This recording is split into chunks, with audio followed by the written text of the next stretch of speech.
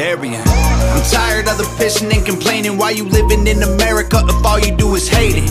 You think it's brave to take a stand against the nation? Real bravery is dying for the right so you can say it. Dear America, what happened to Americans? Apparently no one's aware or cares that it's embarrassing. It's arrogance. Our greatest enemy was always slavery and terrorists, and now it's people in the country trying to burn the heritage.